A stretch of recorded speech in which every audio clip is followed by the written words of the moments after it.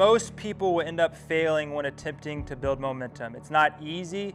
If you rely on willpower alone, you won't get very far. The thing I love most is the culture. Company culture. Because of the culture and the team we've built. I just really enjoy the environment. The people we've got. Was there ever a moment in the first four years that you wanted to just throw in the towel? Totally. Absolutely. I'm driving down the street, Mopac, not even that far from here. I remember that vividly. I call my wife, what am I doing here? What, what am I supposed to do for the rest of my life? Year one, we had no momentum. Let's make it a big dream. Let's go for it. Nothing can stop us. The first four years were a let's keep these lights on so we can make them even brighter in years to come.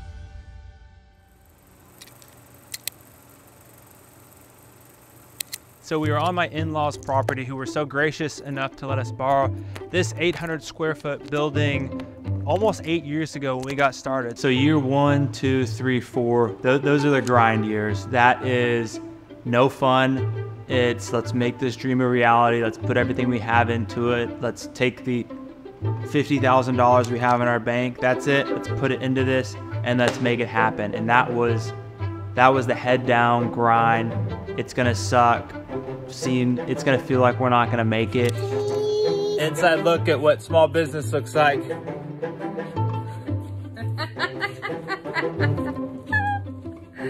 It was a, a big time in my life of sacrifice to where I had lots of friends calling me, especially during hunting season, taking calls. No, man, I can't. I gotta work this week. In the early days, there is nobody else. If I didn't work, I didn't eat. My family didn't make any money. If I didn't go to a show, there was nobody at the show. Buying blank t-shirts from Comfort Colors, we're sewing in our own tags, we're driving them to the screen printer.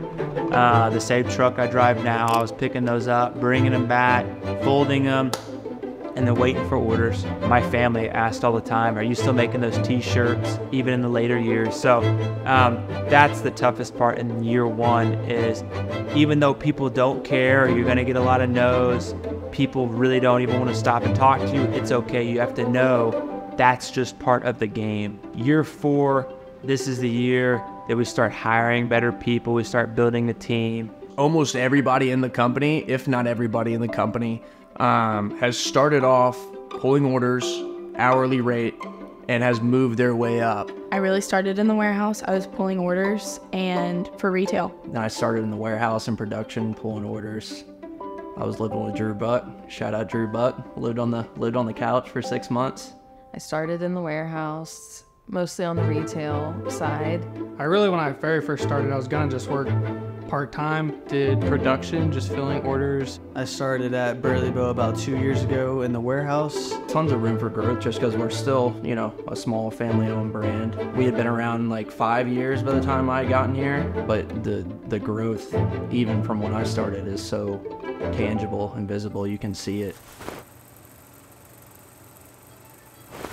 For everybody in this room, that I appreciate everyone taking ownership because I think that's one of the most important things in a small business is people taking ownership of what they're doing and doing a good job. Years five through eight, I would say we feel unstoppable. We've scratched through the mud, we've clawed to get where we are now that I know that we can make it through anything. We can make amazing products. We can compete with huge companies.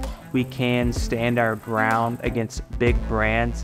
We truly can do anything. We've got the best team, and I'm more confident in them than ever. I'm confident in myself as a leader, and I'm gonna take this brand in a, in a great direction and help guide the young people in our company because we have so many amazing people on our teams. Evolution from where we started. Um, every year the brand has grown, product has been added, um, and it's been really awesome to see the growth of the brand and the maturity of the brand, um, and then the extension of it uh, with introducing colors and patterns and new styles and new silhouettes, all that kind of fun stuff. Um, so it's really, it's really grown, and this is honestly just the beginning.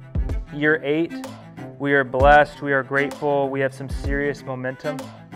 Uh, multiple big box stores are telling us that our products in shorts specifically are outselling major industry leaders. There's so many growth opportunities and it is growing and happening every single day. And it's just cool seeing the growth firsthand. Like it's rewarding.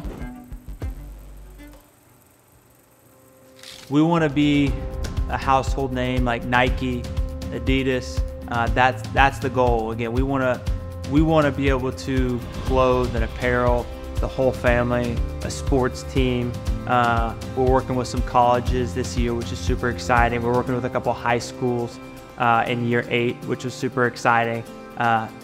So it's tough to say where we're headed. I just know we're headed in the right direction. We're headed up. That you know, nothing can stop us. I just feel like the the products, the materials, everything is just leveling up. The products, the designs, the patterns just take a little bit of a step up every season. Night and day, the product transformation since when I started. There's so many more styles within each category of products we have now. When I first started, we had maybe 10 caps. Now we've got over 40 caps.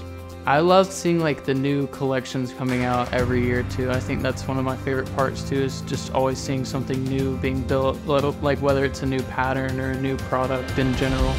Company culture is one of those things that is is everything. It really is. If you don't have a good team, you don't have a business. As a lot of the guys say in the office, like we some dogs, and it's some true. And it's because we have people in the company that want to work super hard, want to get after it, love what we do, love the products, and that just breeds an insanely awesome work environment because every single person on our team matters. Burlebo has the potential to go as as big as we want it to go. Um, I truly think in terms of efficiency, um, hard work, all of those things, that's here in the company. And as long as we keep that up, we keep our culture up. Um, you know, we keep that positive energy. We stay authentic and organic with our customers. Um, the sky's the limit. Uh, so I mean, I think you know, I think we can end up being one of the biggest outdoor apparel brands out there if we stay on this track and and keep going the way we're going. You know, I know we all expect to be one of the biggest outdoor apparel brands going. Uh, I, when I think about our work environment, it's like family. It's probably what I'm most proud of as a business owner, because yes, I'm so happy that people love our products.